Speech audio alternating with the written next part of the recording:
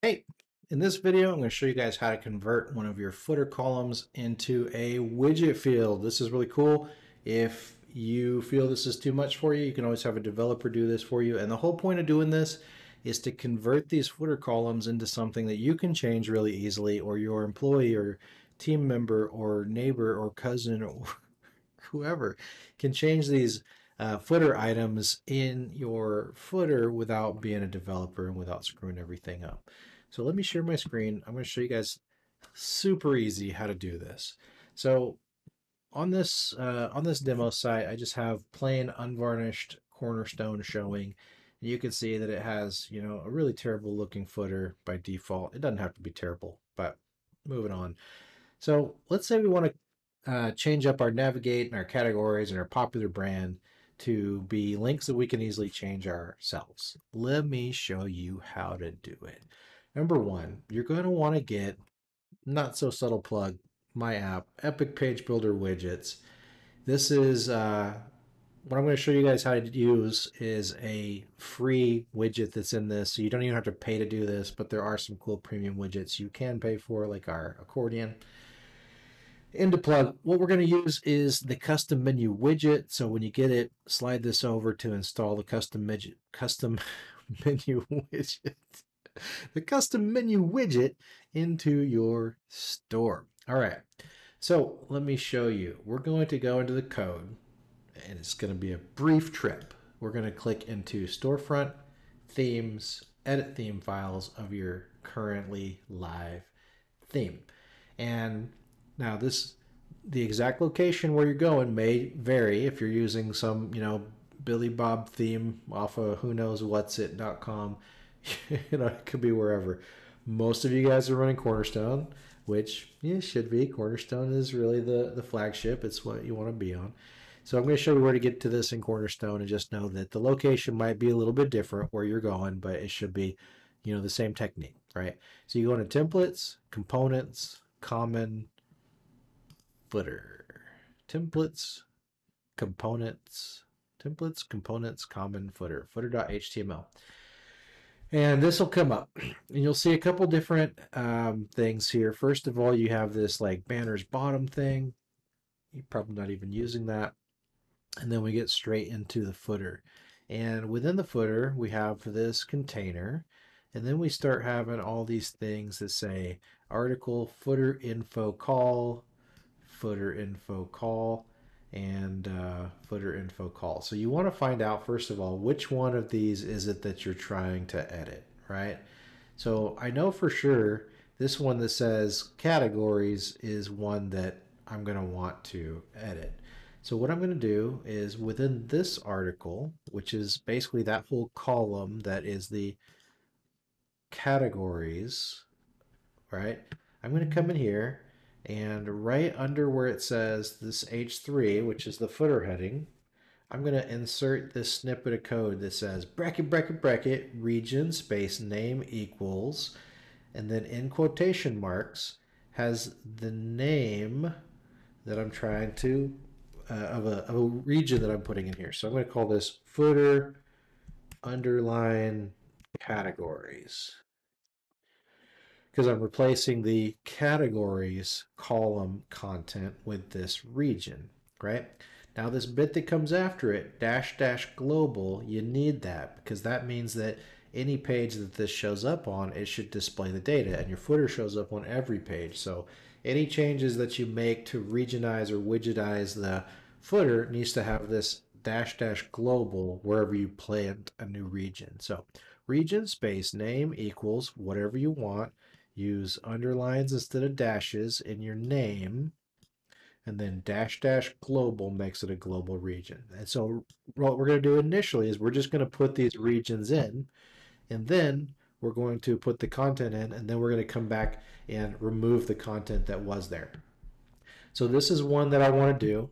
I want to, I'm going to go ahead and copy this code that I put in here and I'm going to come down to this next region which is clearly uh, where it's displaying the brands and I want to um, I'm going to replace that column as well so I'm going to call that one footer underline brands dash dash global. And the reason that we have to do that is we can't, well, we don't want to use the same region name because then any content that you put in this region would also show where that region shows up again here, right? So you'd end up having the same the same uh, content in two different categories, which would look kind of dumb.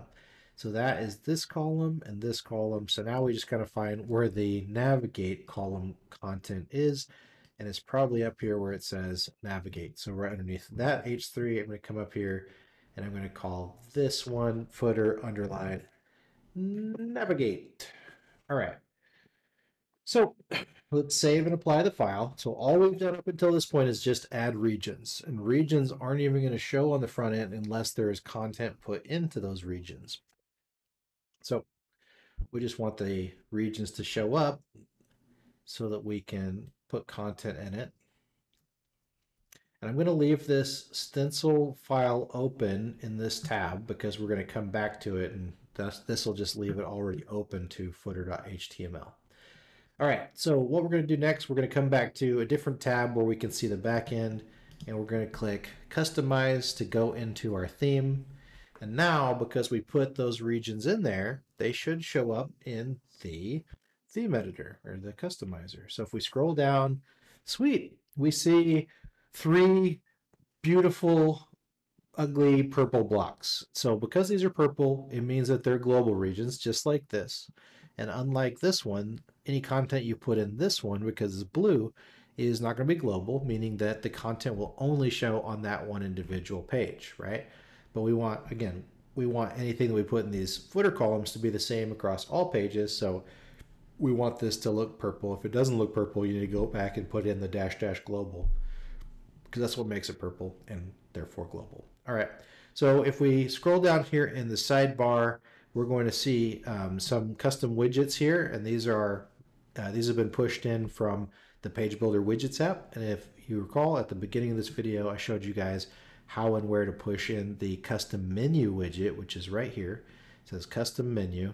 Unfortunately, BigCommerce won't let us have custom icons yet. Hmm, maybe in the future, maybe by the time you see this, if it doesn't look like a Rubik's Cube or a Q*bert block, if you're as old as me, then maybe they fix that. But here's what we want to do at the moment is we want to take this custom menu, and you can see when I hover over it, it says custom menu dash PBW, which is page builder widgets. We're going to just drag that in here. That's it. That's all we're going to do. And you can see that it went ahead and put some sample links in here. Um, I'm going to fix something right away because this drives me nuts, which is this little bit of spacing. You can see how it looks kind of like it's indented.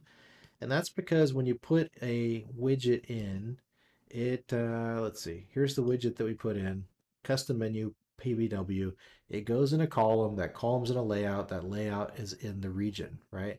But if we go into the column right above it you can see that it's got some padding on the left and right. So i just i just zero those out um, so that it doesn't affect my styling basically now, you can see that the styling on this is quite a bit different than the text that was there, and it kind of sticks out like a sore thumb. So we're going to want to style this a little bit.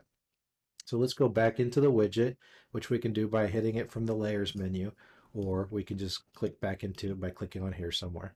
And you can see that there's uh, three different links. They're all just like default links right now, but we want to make these not so loud as they are. So Let's click into the three dots that are up here and then go into settings for this widget.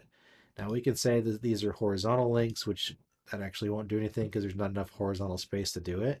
But we can come in here and let's shrink the size down. I'm going to put them as 16 pixels because I know that's what Google likes, even though I think they're in the theme is 14 by default. I'm going to put them up to 16. And you can see that the font weight is set to bold. So let's change that to normal. And we can change the text color, I guess, if we want. So let's just make them a little bit less loud. Let's select this one. Text color on hover. Let's just leave it black, right? And then we can come in here to spacing and say, okay, there's a bunch of spacing in here. Let's get rid of at least the top, bottom, and left, right? Because I want to cinch this up to the left of the column. So I'm also going to get rid of the margin. I'm going to get rid of the top, the right, and the left. And so now you can see it's cinched up pretty good, which is nice. me get rid of the right here too. So the only thing I'm leaving actually is, actually, heck, I'm gonna just, yeah, let's just leave the five because that looked kind of nice. So let's let's decrease it to three. All right, I'm digressing. Um, there's a couple other things you can do, like you know, background, background and hover, all that kind of stuff. Oops, sorry. You gotta be careful with your with your mouse wheel because if you're if you're clicked into one of these numbers, then the mouse wheel will ratchet that up and down, like you saw here just a second ago. Um, we can hit border, but we don't really want any border in these links. So, you know, this looks pretty good, actually. Uh, let's just do it like that. All right, so what we're going to do now, we have these styled. Let's go ahead and click back out, and then let's actually make these links what they should be, right? So we could say about us is the first one. You can see we're editing link one, which is the top one. And let's say that goes to slash about dash us. We can click mm. over to go to link two, or we can just click the link to here up, up here. So then let's say this one is contact us, and that goes to contact. Let's edit the third one, which is going to be blog. Let's say that goes to blog. Now you can see I'm just starting with the slash after the domain. You can include the whole domain if you want to. It's not going to make a huge difference because this is just going to link to that same page uh, within the context of the site that we're currently on. And you can also, like if, if one of these is an external link, you can say open in a new tab. But if these are all internal links, then you don't really have to do that. So there's one more that we didn't do, which is sitemap. So I'm going to click the plus up here, which gives us a fourth link. And I'm going to say sitemap. And that goes to sitemap.php let's say. Or I think it's like, hmm, maybe it's just sitemap. All right, we'll just leave it like that. The, you know, the exact links here don't really matter. I'm just doing this so that you guys can kind of see how to enter this. And so that you can see that you can, can totally control these with this custom menu widget. You can also like drag them up and down if you want to reorder them. So it's a really nice tool. And again, this is one of the widgets on the free side of the plugin. So it doesn't even cost you anything to get this. All right. So now we need to do the same thing for the other ones. And I'm going to show you a hack here because if we just drag another custom menu widget in there, you can see it doesn't have the same styling. And then you're going to say, well, now I got to restyle every one. And that's true, unless you do my little hack, which is this. So if we have this custom menu widget already styled, already nice, we can, first of all, I mean, sorry, did the wrong thing. We can copy this and this, so this creates a second version of it within the context of that one widget field. And then what we can do is we can make sure that there's a layout. So I'm going to just drag a layout, make it one column. And so now there's a layout for sure in there. I'm going to delete this second one. So there's a layout there. I'm going to do the same thing over here too. So there's a layout in each one of these, right? So here's what I'm going to do. I'm going to click into this one. Then I'm going to click the layers menu. And then that takes me to the layers and took me to the wrong one. But you can see that here there's this layer where I have the footer navigate, I have the layout, I have one column, and then I have two page builder widgets in there. And you can see that there is a little handlebar right next to this, right? So what we can do is we can actually drag it. Oh, can I do it? No, I got to expand this so I can see the column. And now I can drag this one that's the duplicate into the column. And then that just moved it into that layer, right? Now I can do the same thing again, which is I'm going to duplicate that. I'm going to say this uh, brands column over here. I'm going to just drag the duplicate into that column. All right, so now I have one in each. I do need to go into each of the columns that that widget is in and get rid of that padding so that it looks better. And let's see, do I need to do that here too? Yep. Doo, doo, doo. All right, so now we have widgets in each of the columns. We can come into this categories one, and we're only trying to get three columns in there, so I'm going to delete the fourth link and you can just come in here and click into link one, main cat, you know, link it to whatever. Item two, fish and plant care. and blah, blah, blah. So you can see basically what we're doing is we're just rebuilding the exact links that we want, right? Because we want these to be fully dynamic and fully controllable. And so once you're done building your links, you'll end up with basically a duplicate of the items that are in each of these columns, right? Except for the top one is going to be the one that you can fully control because it's widget based. So what I'm going to do, I'm going to click publish.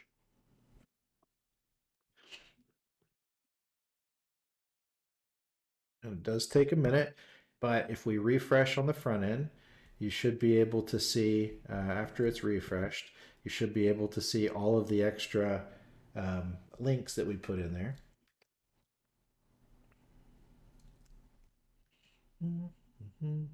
There it is. All right, so we have all of our links.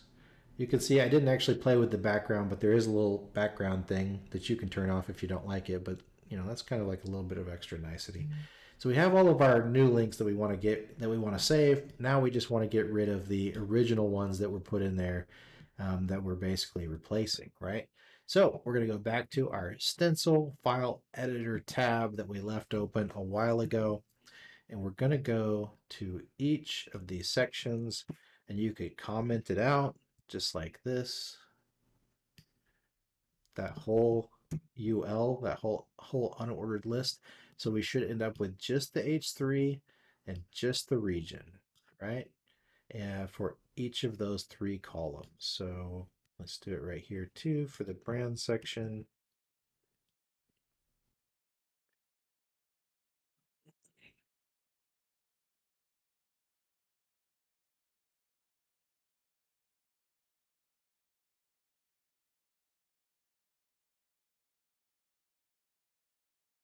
You're going to do a lot of coding, I recommend checking out my video about how to do Stencil Local. It's really awesome.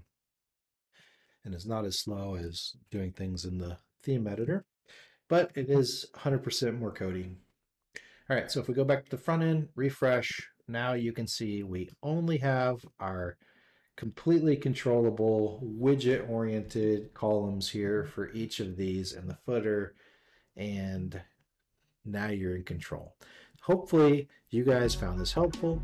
And if you did, hit the like button and be sure to join our community of store owners at joinecommercegrowth.com. And you know, if you guys have questions, leave me a comment. I'm here to help you guys and post videos every week. If you guys need help, hit me up at epicdesignlabs.com and thank you so much.